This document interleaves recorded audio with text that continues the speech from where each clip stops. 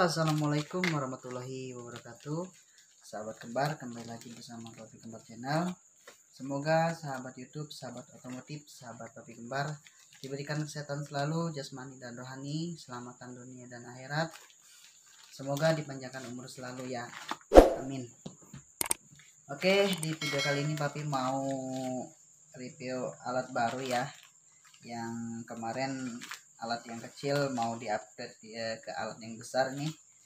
Kirimannya sudah sampai eh, lama sekali nunggunya teman-teman ya. Hampir dua minggu ya. Ini kiriman dari Cina dari Guangdong. Ya mudah-mudahan ini bersih ya. Soalnya nanti ini penting banget buat bapak ya. Jadi buat teman-teman otomotif semuanya. Uh, yang baru punya bengkel bengkel kecil maupun besar itu penting sekali ini ya teman-teman ya. Jadi ini isinya apa sih? Mari kita buka. Nah sebelumnya papi udah punya yang kecil sih alatnya. Tapi sekarang mau diganti yang agak besar. Ya lumayan sih harganya nggak mahal-mahal amat.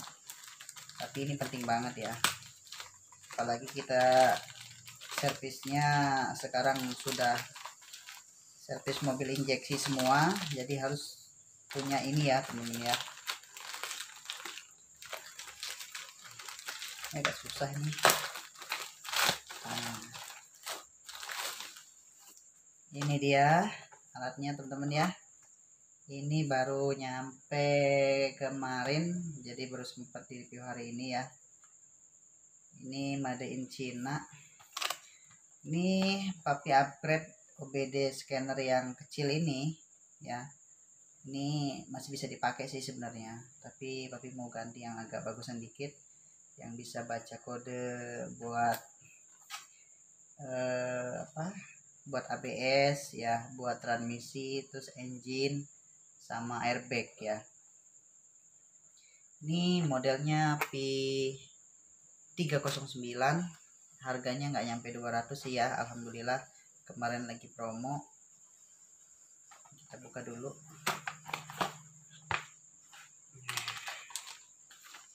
Oke barangnya seperti ini ya teman-teman ya.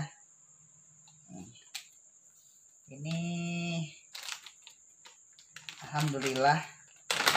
Kalau nggak ada ini uh, lumayan sulit ya teman-teman ya jadi hanya sebagian orang yang bisa membaca kode kerusakan itu tanpa menggunakan scanner. Itu main colok-colok aja tuh seperti channelnya ST Mobil TV ya.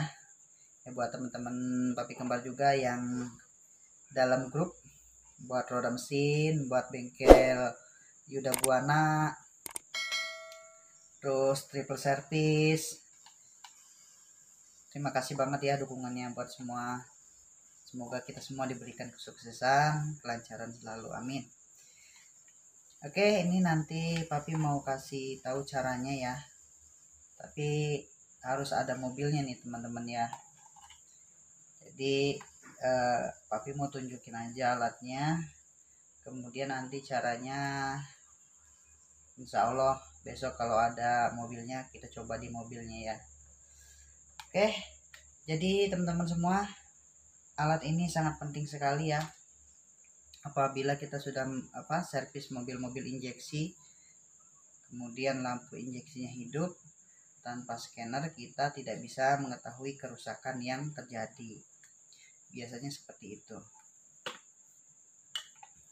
Jadi kadang juga kita misalnya engine checknya hidup ya teman-teman ya tapi dengan kondisi mesin pincang atau mesin getar itu bisa bisa juga ketemu penyakitnya.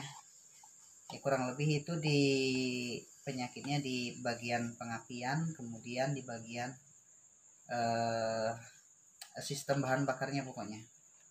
Ya alhamdulillah nih udah nyampe. Mudah-mudahan besok nih papi mau coba di mobil eh, Carnival diesel yang katanya engine checknya nyala ya sama gambar kunci. Mudah-mudahan bisa dipakai besok ya.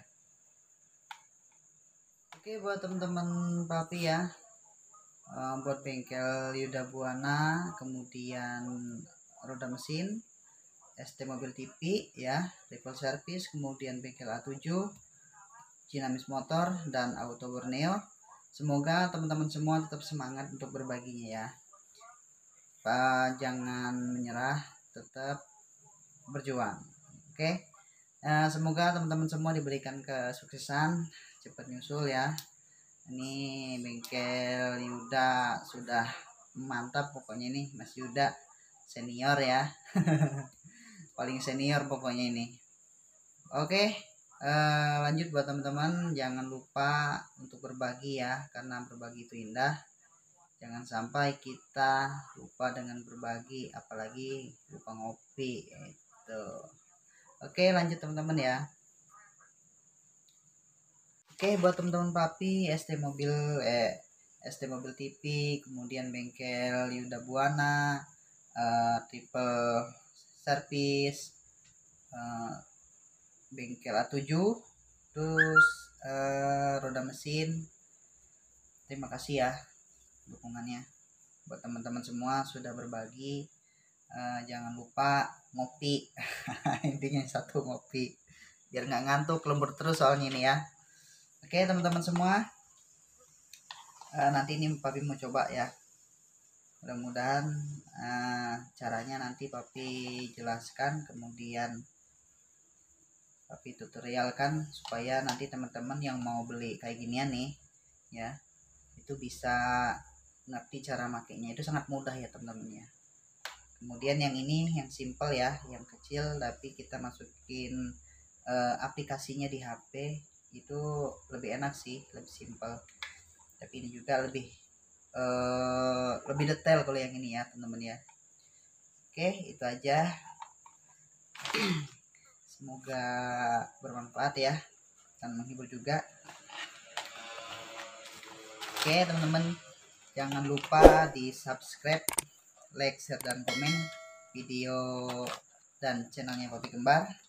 Semoga video-video Pak Kembar ini bermanfaat buat teman-teman semua dan tambah lagi berkembang ya.